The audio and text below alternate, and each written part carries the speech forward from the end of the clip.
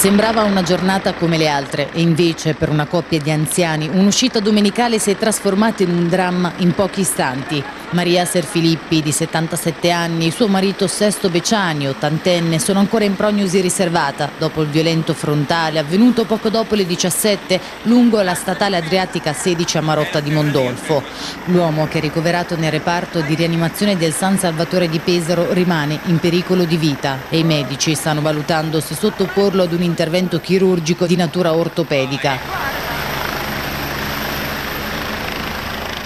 Sono ancora stazionarie invece le condizioni della moglie che dopo l'incidente è stata trasportata dall'eliambulanza al Torrette di Ancone in codice rosso a causa delle gravi ferite riportate. Come si legge in un bollettino medico della direzione generale, nelle prossime ore verranno eseguiti altri esami diagnostici radiografici in vista di ulteriori trattamenti chirurgici.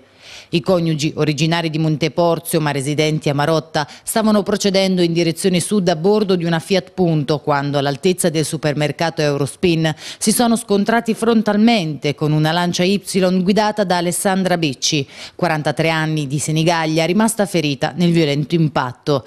La donna, che è ricoverata all'ospedale di Pesaro e non al Santa Croce di Fanno come era stato scritto in un primo momento, ha riportato un trauma facciale potrebbe guarire in una quarantina di giorni. Non è stato semplice capire la dinamica dello schianto che tuttora è al vaglio della Polizia Stradale di Fano. I veicoli infatti erano entrambi rivolti nella stessa direzione e la punto, a causa dello scontro, è stata scaraventata contro un'altra auto in sosta.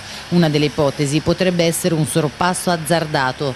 L'incidente ha provocato lunghe code in entrambe le direzioni per deviare il traffico sulle arterie secondarie. Sono intervenuti i vigili urbani di Mondolfo e i carabinieri di Marotta. Per le operazioni di soccorso invece invece, oltre ai sanitari del 118, è intervenuta una squadra di vigili del fuoco di Fano che ha estratto il pensionato dalle lamiere dell'abitacolo e ha messo in sicurezza la zona.